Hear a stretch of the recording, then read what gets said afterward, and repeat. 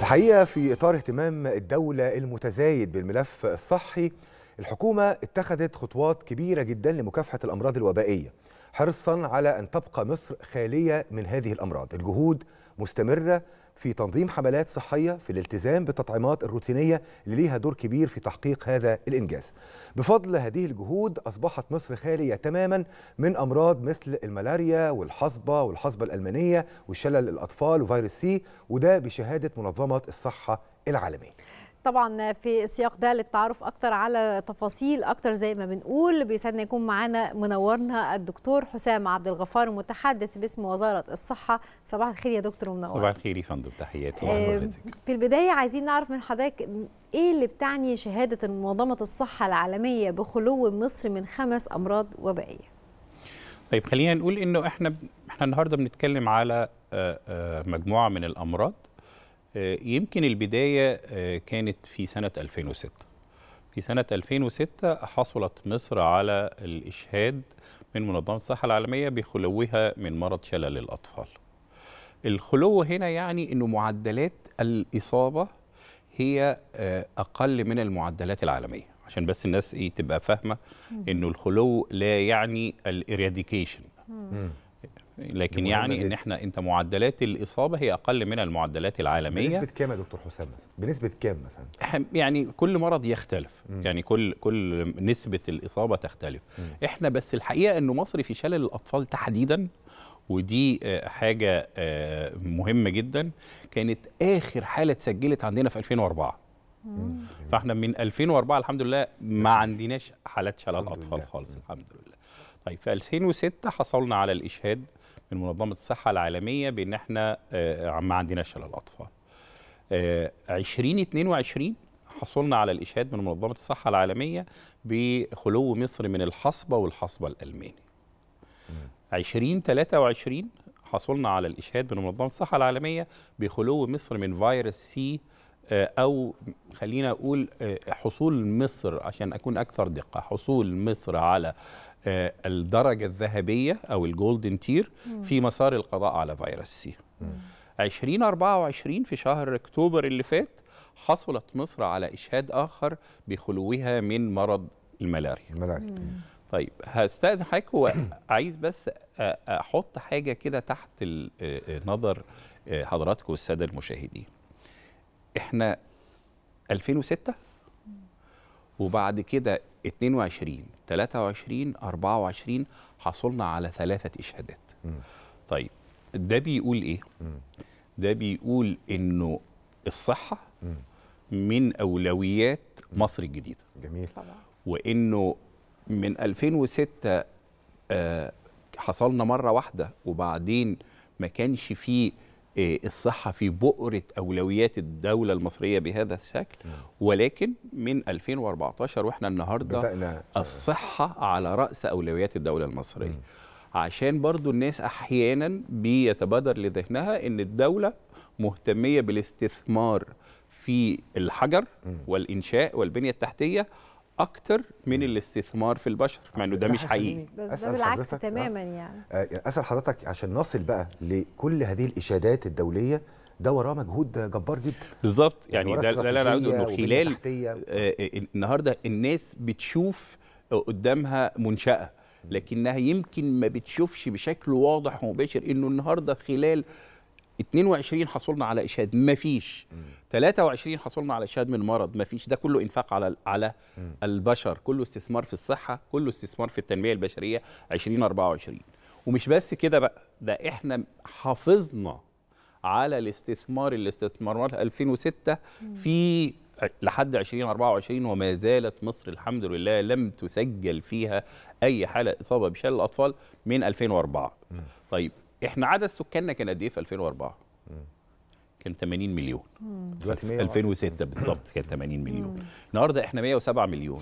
فتخيلي حجم الجهد والإنفاق والاستثمار اللي أنت بتعمليه كدولة عشان تحافظي على صحة مواطنيكي بعد ما الرقم بقى كان 80 بقى 70 حجم البرنامج التطعيمات هو من أين أتى هذا؟ يعني هو أنا كمان مش بحافظ أنا بحسن من جودة الصحة للمواطن أنا المصري. بطلع لقدام. صح وبحافظ على المكتسب مم. في ظل إنه أنا زدت 37 مليون مم. من 2006 لحد طيب حجم بقى الاستثمار والإنفاق اللي الدولة بتنفقه على التطعيمات الالزاميه لأن هو ده هو ده البرنامج الأساسي التطعيمات. يبقى أنا بوفر التطعيمات.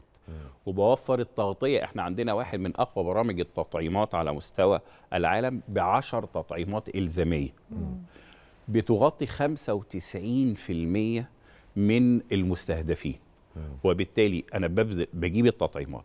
في جحافل من العاملين في القطاع الصحي مسؤولين عن توصيل التطعيمات. إحنا كلنا كنا بنسمع عن حملات شلل الأطفال المحدودة وحملات شلل الأطفال القومية. فيروس سي فيروس سي ده قصة نجاح. ليه؟ لأن عندك إرادة صحيح. سياسية قوية ويمكن تدرس تدرس كنموذج عالمي حتى تم الاشادات اللي حتى نموذج. هذه اللحظة النموذج المصري يدرس على مستوى العالم. هو كمان بيتم تصديره للدول الإفريقية علشان نقدر نساعدهم في التخلص من هذه الأمراض. ده من باب إنه اهتمام القيادة السياسية بالبعد مم. الأفريقي بقت أنت بتنقلي تجربتك إلى صحيح. ومبادره السيد الرئيس عبد الفتاح السيسي لعلاج مليون افريقي من فيروس. سي لكن الناس بتبص الفيروس سي على مجرد إن أنت عملت مسح وده شيء عظيم جدا إن واحد من أكبر المساحات على مستوى العالم أنت مسحت أكثر من 62 مليون في ذاك الوقت أنت مستمر حتى هذه اللحظة في المساحات وقدرت تعالج أكثر من 2 مليون أو 3 مليون كانوا مصابين. وعملت توطين صناعة. لأنه أنت مش بس قدرت تحصل على الدواء أول ما طلع بسعر منه. مناسب. لكن ده بسعر أقل من اللي كان كان بتلت... أنت اشتريته ب 300 دولار في الوقت اللي هو كان بيتباع فيه ب 30 ألف دولار. مم. طيب. وانتقلت لمرحلة مهمة جدا وهي إنك وطنت صناعة وبقى عندك علاج فيروس سي المصري بنفس كفاءة العلاج الفيروس سي اللي أنت بتجيبه من من من بره ومنظمة الصحة العالمية بتوصي باستخدامه. في حاجات تانية ورا المشهد الناس مش شايفاها ما هو عشان تفضل محافظ على عدم الانتشار ما هو فيروس سي ده بينتقل عن طريق الدم. عملت إيه؟ أمنت بنوك الدم عندك. تمام. أمنت مخزون الدم من أي نوع من أنواع الفيروسات؟ بقى عندك نقل الدم الآمن مش بس كده. وعملت ما قرار دولة رئيس مجلس الوزراء بالحقن الآمن لأن هو برضه بيتنقل عن طريق الحقن. طبعا. فالنهاردة بقى عندك الدولة بتعمل بحقن آمن حقن ذاتية التدمير بنوك الدم آمنة كشف ومسح مستمر سواء لطلاب المدارس مدرسة السيد الرئيس للكشف على فيروس عند طلاب المدارس مدرسة السيد الرئيس للكشف على. على فيروس سي عند طلاب الجامعات. فأنت شغال بقوة من خلال مجهود سواء من وزارة الصحة والسكان. المبادرات الرئاسية جميل. للكشف المبكر عن هذه الأمراض م. فالنهاردة وزارة الصحة والدكتور خالد عبد الغفار نائب م. رئيس مجلس الوزراء وزير الصحة والسكان بتتحرك بكل قوة م. في استثمارات ضخمة جميل. بتضخ في التنمية البشرية في صحة الإنسان. عشان يبقى عندك هذه الإشادات وده مش كلام إحنا بنقوله. ده منظمة الصحة العالمية وده يليق بالمواطن المصري إنه تقدم ليه خدمة صحية جيدة. آه عايز أسأل حضرتك هنا هذا المجهود الجبار أو الكواليس بقى المشهد وراء هذا الإنجاز والاشادات الدولية بيمر بمراحل كثيرة جدا. توفير هذه التطعيمات بنية تحتية قوية جدا. كمان فكرة فريق صحي فريق مدرب صحي ده ده ده ومؤهل. آه الكادر الصحي. فحابين نتكلم أكتر على هذا هذا الفريق والكوادر الطبية وكمان تعزيز البنية الخاصة بالمستشفيات لتأهيلها لتقديم هذه التطعيمات. طيب إحنا المنظومة تتكون بداية من إن أنت تدرك الواقع يبقى عندك رصد. عايز تعرف حقيقة ما هو موجود. عشان كده أنت عندك برنامج قومي للرصد في عندك أكتر من 40 مكان موزعين على مستوى الجمهورية مصر العربية في كل المحافظات. دورها هي الترصد إن هم يشوفوا ما هي الاحتمالات الأمراض التي قد تنتشر وبائيا تمام. من خلال قطاع كبير جدا في وزارة الصحة والسكان اسمه القطاع الطب الوقائي. ليه؟ لأنه مفهوم الصحة. النهاردة مش مجرد إنك لما تعيا تجد علاج مناسب في مكان مناسب. لا طبعا. مفهوم الصحة زي ما عرفتها منظمه الصحة العالمية هي حالة من الكمال البدني والنفسي والاجتماعي. وبالتالي أنت محتاج إنك تحافظ على الصحة هي اسمها وزارة الصحة مش وزارة المرض. وبالتالي لازم الإنسان يبقى صحيح. عشان يبقى صحيح بنعمل إيه؟ بنتحرك على مستوى الوقاية. ده يمكن في حاجة تانية كان أعلنها قريبا الدكتور خالد عبد الغفار إن إحنا بننتقل بمشروع الجينوم المصري إلى مش بس بقى الوقاية إلى ال prediction يعني إحنا انتقلنا من prevention منع, منع إلى لمنع. إن مم. التوقع. وال prediction من خلال آه، آه، مشروع السيد الرئيس للجينوم المصري والدراسة الكبيرة التي تجرى. طيب يبقى ده ال- ال- المكان والمنشأة والتجهيز. توفير التطعيمات. وتوفير ال- ال- ومش بس كده ما هو لازم البرنامج التطعيمي ده يصل لكل طبعاً. مواطن. يبقى عندك فرق عندك صحية ريف وقرى وأماكن كتيرة. مدربة على القدرة على التشخيص. الاكتشاف المبكر القدرة على التعامل مع أي اشتباه أي حالات مشتبه فيها. طب هيحصل إيه؟ هنعمل إيه؟ ما هي الخطوات؟ إيه الورك فلو اللي المفروض يعملوه؟ كل ده بيتم. إحنا بنتكلم النهارده على على آه، أكثر من 50 60 ألف 70 ألف بيتحركوا في نفس الوقت في الحملات القومية. ده مجهود كبير تقوم به وزارة الصحة والسكان تقوم به طبعاً. الدولة المصرية عشان الحفاظ على المصريين. طيب. الشيء المهم بقى إن إحنا مش بس بندي التطعيمات دي للمصريين التطعيمات دي لكل من هو مقيم على الأراضي المصرية. لإن أي. حد مقيم على الأراضي المصرية لا أستطيع أنا كمحافظ على الصحة العامة إن هو يبقى مريض أو عنده أي نوع من أنواع الأمراض الوبائية. يعني مصر كمان ليها بعض الإجراءات الخاصة في التعامل مع آه، طبعا أوبئة مثل الملاريا والإشمانيا وكمان الفلاريا وده دور قوي جدا من الحجر الصحي لأن هي الحالات دي معظمها بتكون قادمة لمصر من الخارج.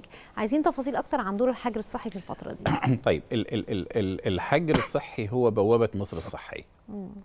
يعني زي ما إحنا عندنا منافذ دخول من الأماكن من من المنافذ سواء برية أو بحرية أو جوية الحجر الصحي هو البوابة الصحية لمصر. وبالتالي إحنا عندنا آه، إدارات للحجر الصحي موجودة في كل المنافذ سواء الجوية يعني المطارات أو البرية أو البحرية.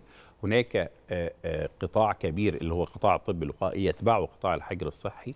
في عندنا تواصل يومي مع منظمة الصحة العالمية وعشان نتابع ما يحدث على مستوى العالم دقيقة بدقيقة بقى مش يوم بيوم دقيقة بدقيقة على مستوى الأمراض والانتشار أو احتمالية وجود أي أمراض. بنتابع الدول اللي بيجي لنا منها ناس مم. والوضع الوبائي في هذه الدول. مهم آه، جدا. بيتم تحديث الإرشادات والتدريب المستمر للطواقم الطبية العاملة في الحجر الصحي عشان سرعة الاكتشاف كيفية الاكتشاف آلية التصرف بعد آه، الاكتشاف. كل ده مربوط بمعامل مركزية لأنه كثير من هذه الأمراض يتم تشخيصها من خلال التحاليل المعملية. مرتبط بالمعامل المركزية اللي مجهزة على أعلى مستوى ويمكن واحدة من المشاريع ال- القومية الكبرى هي المعامل المركزية الجديدة في مدينة بدر اللي اللي, اللي آه، آه، تم تنفيذ 70% منها تقريبا لتكون واحدة من أكبر المعامل المركزية آه، مساحة تجهيزا وقدرة على تقديم الخدمات الصحية. في مصر. كل ده شغال ونحن نتحدث. كمان بيحصل توفير للعلاج الوقائي للمسافرين للدول اللي بيبقى فيها بعض الأوبئة زي الملاريا أو تحديدا ال- ال- الحمى الصفراء ال- الملاريا. إحنا برضو بنوفر ال- ال- العلاج أو التطعيمات أو ال- ال- ال- العلاج للناس اللي رايحة مكان فيه احتمالية إصابتها. هيرجع لي مرة تانية ممكن يكون راجع محمل بال يعني ده جزء فأنا- لكن الجزء الأهم أنا ح- عايز أحافظ على أحافظ على- الإنسان. عايز أيوة، احافظ على الإنسان يعني، ال. ال ال ال المواطن أو الإنسان المصري إن هو ده هو ده أساس أي انتشار تنمية. الأوبئة طبعا بشكل كبير.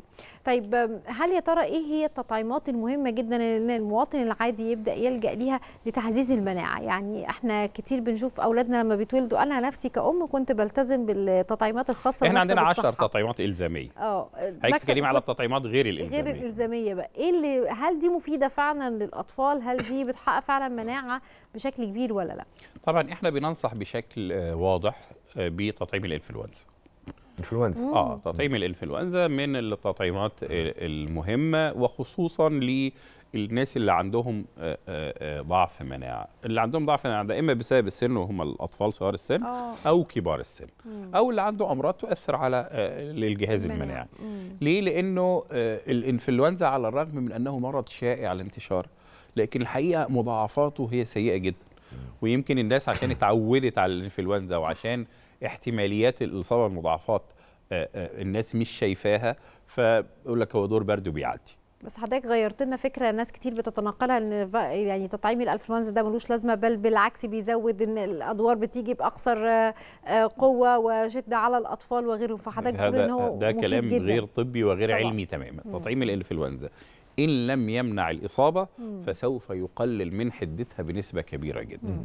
وبالتالي آه في تغير الفصول. يعني في الوقت اللي إحنا من شهر 10 شهر 11 ده هو ده أنسب الأوقات لتلقي لقاح الإنفلونزا. وزي ما حضرتك قلت ليه عندهم مناعة يعني غير. قوية ضعيفة وطبعا الأطفال أو كبار السن. آه يعني آه أكثر آه آه إحنا بنقول دول أكثر احتياجا إلى ان هم يحصلوا على لقاح الإنفلونزا كواحد من التطعيمات الاختيارية. كورونا والمتحورات الجديدة لكورونا. طيب خلينا بس نتفق اتفاق. إحنا في شهر مايو 2023 لحد مايو 2023 كان في مسار كده طبي اسمه مسار كورونا. مم. ليه؟ لأنه كانت جائحة عالمية وكانت الناس مش فاهمة قوي هو كورونا مكتشف حديثا إزاي نتعامل معاه ما هي العلاجات كيف يت... وكان يصيب الجهاز التنفسي السفلي فيؤدي إلى فشل تنفسي وارتفاع حالات الوفاة. من مايو 2023 أعلنت منظمة الصحة العالمية انتهاء وباء كورونا. وباء كورونا كجائحة عالمية.